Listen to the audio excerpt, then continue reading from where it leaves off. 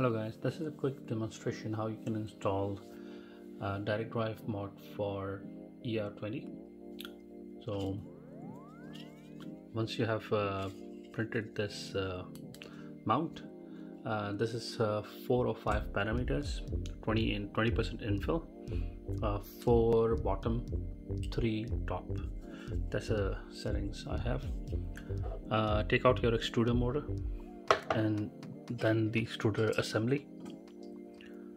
So it will go as it is.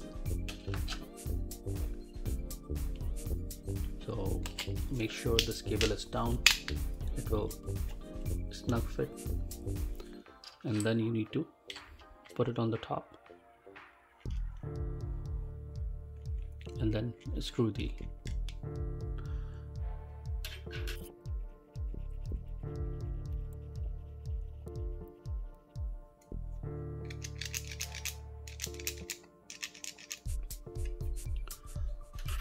uh, you need uh, ex uh, extruder motor extension cable.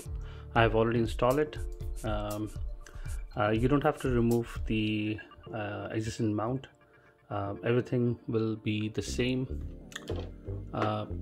I have cut this PTFE tube. It came with the printer. Like if you check the spare parts there's another one. So this is about 60 mm all you have to do is use this uh, this.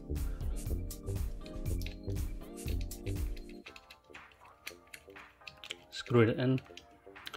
Um, I leave um, one twist push it all inside and then you can tight it. Not too much. Make sure it's uh, secure. Put the extruder motor on the top like this.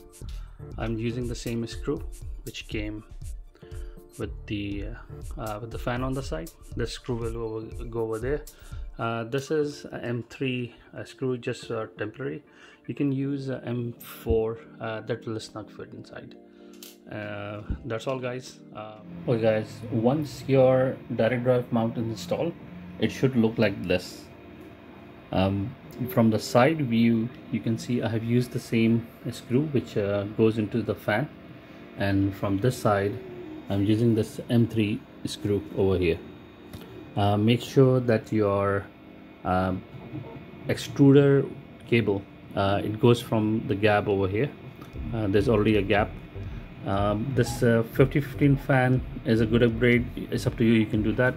Um, because I'm using this as a support over here as well um, I have removed the coupling uh, holder over here.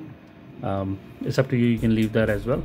Make sure you change your retraction to uh, one one and a half uh, length ms length and uh, speed to 25 to 40 it's, a, it's depend upon the filament you're using.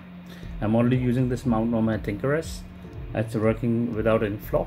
If you have any questions uh, just let me know. Enjoy